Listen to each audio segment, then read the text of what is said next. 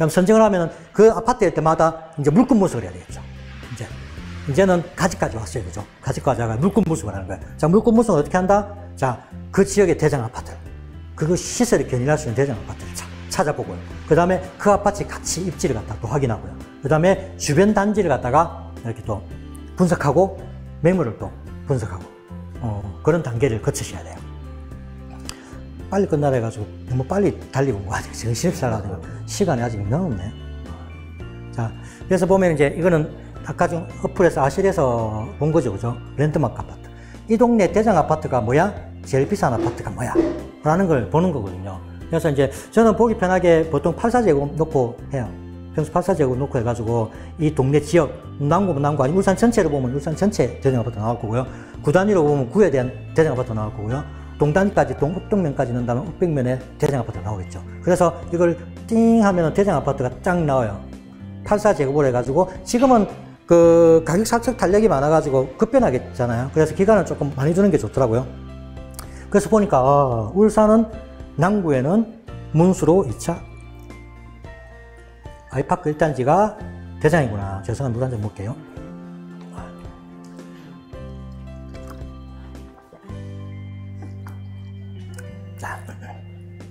그래서 대장 아파트를 이렇게 확인해요.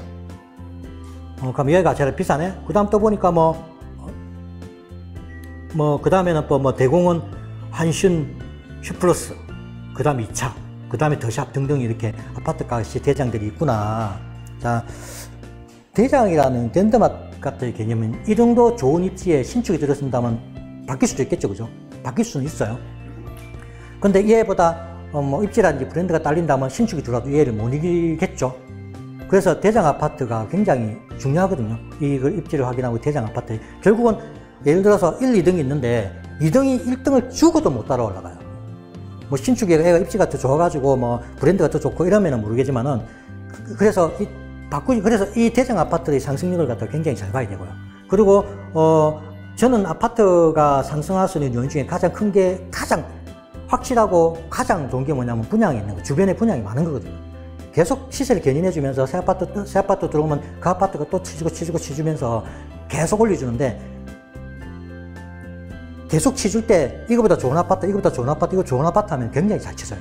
근데 제일 좋은 아파트 막 들어 나서 좀 안 좋은 아파트 안 좋은 아파트 하면은 별로 또 그게 또 시장이 등량 그렇더라고요. 물론 이게 그러니까 1등이 계속 쳐줘야지만 계속 올라가 주는 거거든요. 그래서 가장 좋은 거는 다른 개발도 좋지만은 진짜 분양 빵빵 터지주는 게 중요해요. 그래서 재개발, 재건축 많이 몰려있는 지역은 처음에 있는 아파트 빵 사놓으면 그거는 100%야. 다 올라가요. 그런 지역이 있거든요. 뭐 부산에도 막 서울에도 있죠. 있잖아요. 근데 이제 뭐 지역마다 이제는 이제 많이 이제 진행이 돼가지고 이제 그런 데가 사라지고 있죠. 트렌드도 자꾸 조금씩 바뀌는 것 같아요. 시장에. 그래서 1위 확인하고 대장 굉장히 중요해요. 그러면은 이런 것도 생각해봐야 돼요. 이하가 대장이에요. 항상 결론 내지 말았죠. 왜 대장이요? 이하가 왜 비싸? 파야 돼요. 이유가 있어요. 분명히 뭐, 이하가 학군이 좋다든지, 여기 뭐 일자리가 바로 옆에 있다든지, 뭐 대단지에 브랜드가 좋다든지, 무조건 대장에는 대장 이유가 있다. 그러면 그걸 갖다가 단순히 아가 대장이라고만 머물지 마시고 왜 대장인지를 갖다가 스스로 파고 그 이유를 아셔야 돼요. 이제, 이제 그런 걸 갖다가 계속 공부하시고 보시고 하시면 될 것 같습니다. 그 다음에 이제 또 이제 이걸 갖다 이제 그 지역에 필터링 한 거거든요. 우리는 이제 투자자는 솔직히 자금이 좀 작게 드는 게 좋잖아요. 그래서 이제 아무래도 이제 필터링을 갖다가 어, 지인에서 여기 이제 뭐 전세가율로 해가지고 필터링을 제가 걸어본 거예요. 아무래도 어, 이거 전세가 굉장히 높죠. 이런 94%, 93%뭐 이렇게 지금 울산 이래요. 근데 무조건 전세가율만 높고 투자금만 작게 든다고 좋은 건 아니죠. 입지를 봐야 되죠. 그죠? 여기서 이렇게 쫙 필터링 했으면은, 와, 이거 나무 넣기, 아, 저거 내 투자를 했는데 못했어, 이거. 이 아파트 갑자기 이 아파트가 나오네. 하여튼, 이 아파트가, 와, 천만 원 밖에 안 들어, 투자금이. 94% 전세가 붙었어. 아무리 봐도 물건 없어요. 가봤자. 하여튼, 하여튼, 이걸 갖다 너무 좋아. 그러면 이제 각 입지를 봐야 되겠죠. 입지 가가지고, 예를 들어서, 입지 봤는데, 아, 전세가율만 높으면 뭐해. 입지가 저 산꼭대기고, 입지도 안 좋고, 학교도 없고, 너무 외떨어지고, 낡아 빠지고, 한동밖에 없어. 그럼 패스. 또 패스, 패스, 패스 해가지고, 하다 보면은, 어, 이 정도면 입지 괜찮아. 그런 걸 걸러내야 되겠죠. 이제 그런 걸 갖다 계속 공부하면서 스스로, 뭐 연차수 이런 것도 보고 다 이걸 봐야 돼요. 그래서 이렇게 필터링을 해가지고 아파트를 이렇게 다 이렇게 분석하는 것도 하나 방법이죠. 그래도 랜드마크 아파트를 찾고 가격 분석을 비교하고 이제 이렇게 했어요. 기식에. 그 다음에 이제 물건 분석을 했어요. 이렇게 시세, 그 매매 전체 갭차 이런 것도 보면서 했어요. 그 다음에 이제 아파트 가치 및 입지, 입지 분석을 해야 되겠죠. 내가 이 아파트가 좋아. 그럼 이 아파트에 대해서 어느 정도 가치가 있는지 분석을 해야 돼요. 아, 이 아파트 옆에 학교가 여기도 옥동초도 있고 남천초등학교, 신정초등학교도 있어요. 이것도 이제 어느 학교가 배정되는지도 우리가 또 자세히 깊이 들어가면 다 나오거든요. 그러면 방금 그랬잖아요. 학군이 좋은데 옆에 있어도 배정은 되는 안 되는 학교가 있어요. 그럼 그, 그 이유 때문에 더 옆에가 더 비싼, 뭐 그렇거든요. 그래서 이제 그런 것도 이제 디테일하게 나중에 이렇게 공부하고 또 하시면 됩니다. 자, 잊지 봤고요. 그 다음에 이제 물건을 선정해가지고 이렇게, 이렇게 경쟁 아파트 이렇게 비교를 해보는 거죠. 이렇게. 그러면은, 와, 물산지, 물산거 몇개 봐도 왔는데, 뭐, 대장은 아니지만은, 뭐, 정고점을 회복한 아들도 있고, 아직까지 정고점 회복 못한 데도 있고, 이게 진짜 좋은 게 전세가가 완전히 바지로 올라가고. 그죠? 아까 울산 공급이 그래 많지는 않았어요. 2023년도에 많았는데, 그래서, 어, 울산 투자는 굉장히 나쁘진 않다라고 그냥, 우리, 이거 제가 차도 만들면서도 괜찮은 것 같다라고 보여지고요. 그리고 또 주변 아파트, 두 아파트, 내가 어느 아파트라고 말씀을 안 드리고 두 아파트를 비교한 거거든요. A라는 아파트, B라는 아파트 이렇게 비교, 비교도 돼요. 그, 그 지인, 아, 지인이란다. 아실에서 비교를 또 해보는 거예요. 내가 그 지역마다 남주 대장하고 북구 대장하고도 비교해보고, 그죠? 같은 비슷한 입지의 아하고 비교를 해보고. 근데 웃기 뭐냐면 얘들, 이 아들 같은 경우는 처음에는 거의 붙은 적도 있었죠. 근데 벌어져요. 그 지역마다 왜 벌어지는지는 뭐 다 틀리니까. 하여튼 아파트를 갖다 이 두 중에 산다면은 요쯤에 이 아파트를 샀다면은 굉장히 좋았겠죠. 그죠? 자, 두 개조, 이것도 딴 아파트, 남구 하나고, 이게 남구하고 북구 아파트를 비교한 거거든요. 당시에는 얘가 더 비쌌죠. 아, 더 쌌죠, 파란 게.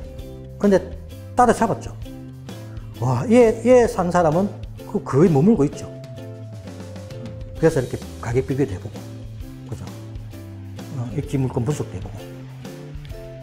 자, 그렇게 해서 방금 랜드마크 아파트도 확인하고, 아파트 가치도 보고, 주변 아파트 시세도 분석도 해보고, 이제 필터링도 해가지고, 아, 이 정도 아파트면 좋아 해가지고 물건이 딱 나왔어요. 이제 마지막. 현장 확인이에요. 현장 확인.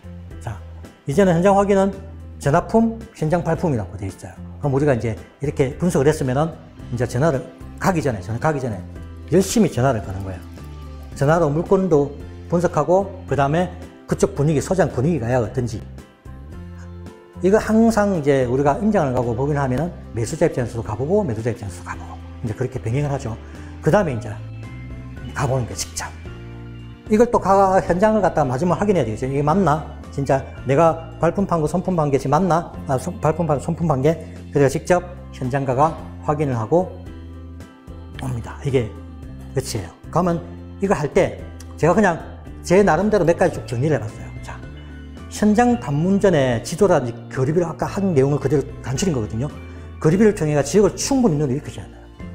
그 다음에 두 번째, 어, 그렇게 하면은 세번 갈까 한 번이면은 갖, 갖고 많은 것을 얻을 수 있어요. 그만큼 많이 본 만큼. 그 다음에 임장 전에 선품, 전화로 매물 시세, 현장 분위기를 충분히 사전 조사를 해라. 모르는 지역은 맘카페 등을 활용해서 심리 분위기를 갖다 파악하라. 그 다음에 매수자, 매도자 임장을 병행해서 우위 시장을 확인하면은 협상할 때 내가 유리하다 훨씬 알아야 되죠. 그 시장 분위기를.